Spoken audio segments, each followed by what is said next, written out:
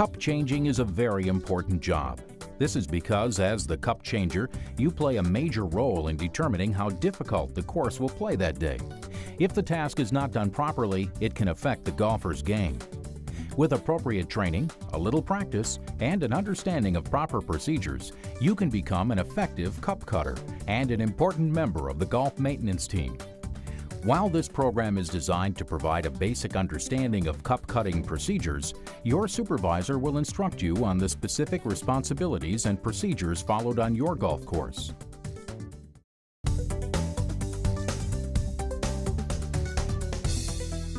Before heading out to the course, make sure you have all the proper tools to do the job. The main tool is the cup cutter. There are two common types. One is a lever action cup cutter like this one. The other uses blades, which are pounded into the soil using a rubber mallet or slide hammer. All types work well, but it is a matter of preference on which type your course has to work with. The cup cutter should always have a sharp edge on the cutting portion of the device so that the plug is cut crisp and clean. If the hole edges appear rough, sharpening is needed. See your equipment manager or supervisor for the correct method of sharpening the tool.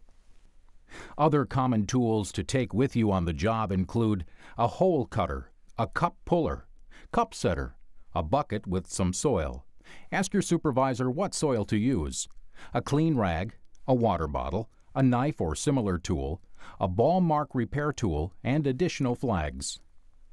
Once you have all the supplies ready, you are now ready to go out on the course to begin cutting cups.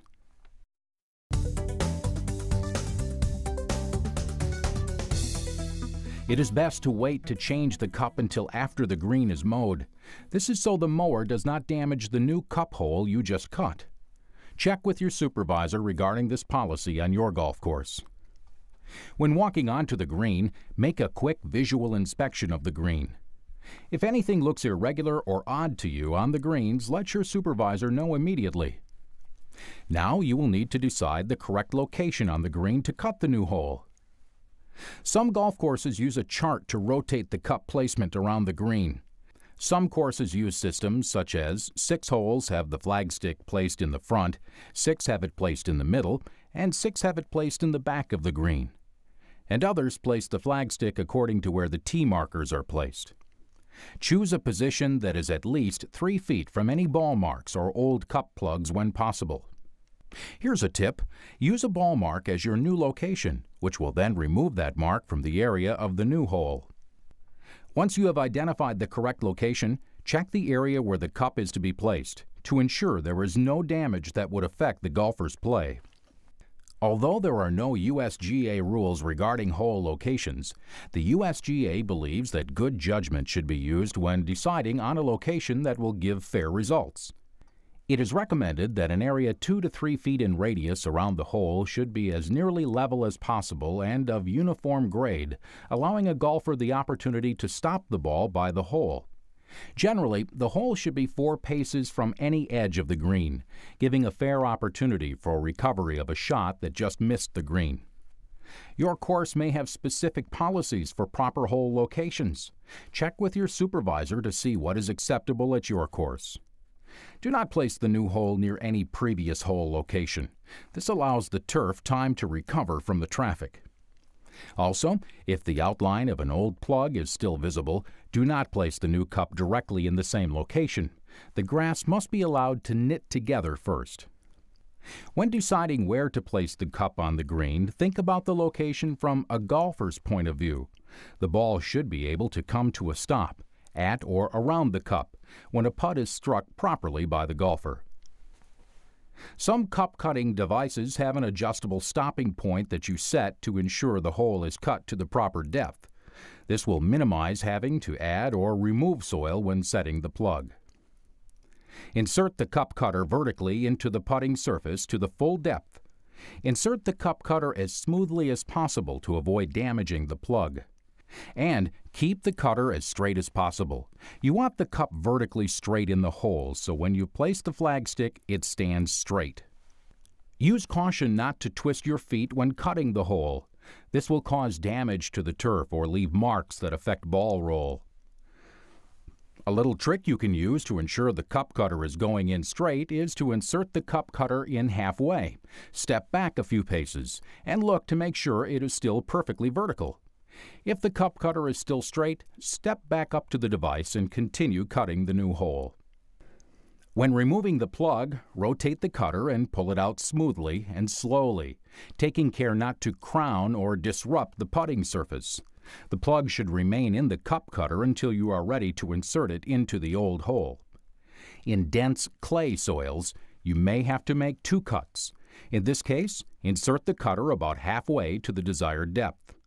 Rotate the cutter and carefully pull out half a plug. Place this half into your bucket for use later. Finish by reinserting the cutter into the hole, cutting to the proper depth.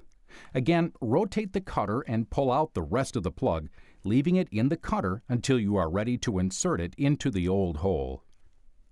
Other types of cup cutters require the use of a rubber mallet or a slide hammer to pound the blades into the green.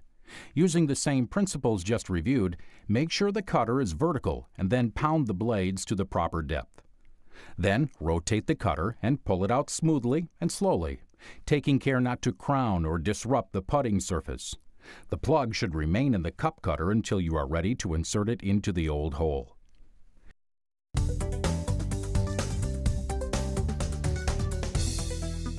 Now, let's show you how to place the cup and flagstick into the new position. First, carefully remove the cup from the old hole with a specially designed tool. Never use the flagstick to pull the cup out or pry it out of the hole. This could cause damage to the flagstick or the surrounding turf. Rinse the cup or wipe it clean before inserting it into the new hole. Once the cup is into the hole, set it to the proper depth with the cup setter. Insert the setter into the hole so it rests on the top lip of the cup, and then push down on the cup smoothly and gently. Do not force the cup into the soil beneath. If necessary, remove some of the soil and reinsert the cup. If this is a frequent occurrence, check the adjustment on the cup cutting device and adjust if necessary. Remember, the depth of the cup should be a consistent 1 inch below the surface of the green. This tool also ensures that the area surrounding the new cup position is level. This is very important so that a golfer's ball being putted into the hole is not influenced by any slight unevenness in the green around the cup. Some courses paint the top one inch of soil above the cup for special tournaments or even every day. This helps the golfers to see the hole better when putting. Check with your supervisor to see if this is required any time at your course. To do this, simply place the painting guide in the hole and using paint made specifically for this task, twist the paint can around to paint the top one inch of soil above the cup. Now that the cup has been set to the proper depth, wipe the flagstick clean and insert it into the hole.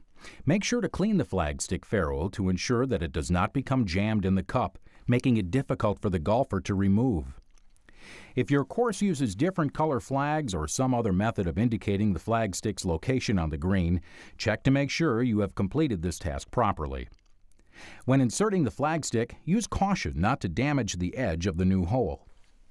Also, it is important that the bottom of the flagstick is not forcing soil into the hole in the cup. If the hole in the cup is not clean of all soil, remove and clean the cup. Very important. If the flagstick is not perfectly straight, it should not be tapped, kicked, or forced in any way to make it straight. Trying to force the flagstick can cause several problems. One, it will damage sensitive roots if it jams the cup sideways. Second, it normally will result in a loose cup in the green. Finally, trying to force the cup to move in the soil could result in a crowned or uneven putting surface. If the flagstick is really crooked, then reset the cup in a new location.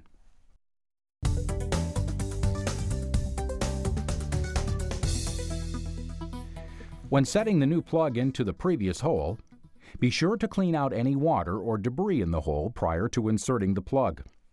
It is important to place the plug at the same depth so that the surface of the turf is level. If the plug is replaced too low, it will cause the ball to bounce when the ball is putted over the area. More importantly, if the plug is too high, the turf will be scalped when the green is mowed. This will cause an ugly brown spot on the green and possibly kill the turf grass. If minor changes in elevation are needed, add or remove a little soil. Each course has a different policy on what type of material to add if needed. Generally, it is the same soil that is in the existing green. However, check with your supervisor for the correct material. Getting the plug level with the surface is a feel thing, and it will take practice to be perfect. Perfection is a must in this process, and there is little room for error. Quality should take priority over speed. A high plug should never be forced down or stomped down. It might result in a temporary level surface, but chances are, once the area becomes moist, it will swell, resulting in a high plug anyway. If it is high, use the cup cutter or a knife to pull out the plug to remove some soil from the hole. A method to help level the plug is to roll a 2 to 3 inch diameter, 12 inch long PVC pipe, using weight from your shoulders, over the plug to level it with the surrounding area. If you are using the two piece method, the soil from the cup cutter is inserted into the hole first. Check the depth of the top part of the plug from the bucket against the depth of the hole. If you need to make adjustments to level the plug, make them now. The top part of the plug is then inserted into the hole. If adjustments are still needed, add or delete soil from the hole as needed to get the plug level with the surface. After a little practice, you will get a feel for how much soil to add or delete to get it level. The alternative cup cutters are similar to the one-piece method. Place the cutter into the hole and then carefully pull the blades out. No matter which method you use, the newly placed plug should be felt with your foot to ensure the plug is even with the surrounding area. Use the normal weight of your foot to simulate a golfer stepping on it. The plug should not sink under your weight and should feel level with the surrounding area. Once the plug is level, use a ball mark repair tool or knife to knit the plug into the surrounding turf grass. Water the newly placed plug with the water bottle that you brought. This will decrease the time it will take the area to heal and avoid the plug from shrinking in dry weather. If conditions have been dry recently, be sure to water any visible plugs from the last couple of days to keep them from drying out and shrinking. Be sure to clean the area of any debris. Brush soil particles on the green surface with your hand or clean up with water. Also, look around for any high or low plugs that might have been overlooked on a previous day. These can be adjusted by inserting the cup cutter into the old plug, removing it, and adding or deleting a little soil from the hole. If the plug has been damaged by a mower, it's a good practice to take this plug to the edge of the putting surface away from normal golfer traffic.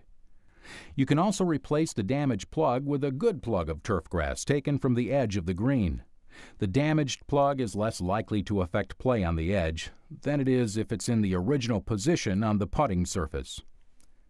Some courses use a nursery green or practice green to replace damaged plugs. Check with your supervisor for the correct procedure at your course. Before leaving the green, make a quick visual inspection of the green, especially around the newly placed cup. Clean up any debris left behind. When returning to your maintenance vehicle, clean your cup cutting tools with a towel to minimize dropping soil particles on other greens.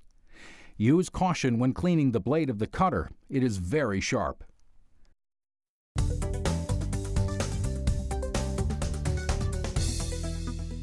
Some courses ask that you repair ball marks when changing cups. Check with your supervisor to see if this is your obligation. Ball marks or other obvious surface disruptions might affect the golfer's ball as he puts it into the hole. Therefore, it is important to fix them correctly. It is best to use a pronged ball mark repair tool, if you have one. Possible substitutes could include a knife, key, or a golf tee. First, insert the repair tool in the back edge of the ball mark gently squeezing in toward the center of the mark. Continue bringing the edges together with a gentle twisting motion, trying not to tear the grass. Smooth the surface by gently tapping the area with your foot. If done correctly, the surface will show no signs of damage. Do not insert the tool and lift the soil up to the surface. This will leave a bare spot which is unsightly and allow for weeds to invade the putting surface. To fix a ball mark that was improperly repaired, insert the tool vertically into the dead spot. Twist the tool a couple of times and remove the dead material. Next, place your finger in the hole and tuck in the sides.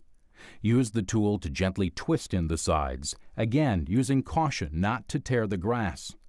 Finally, gently tap the surface with your foot to smooth the area.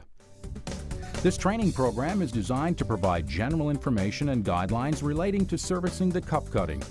Methods will vary from golf course to golf course. Always get clear directions from your supervisor before beginning any project.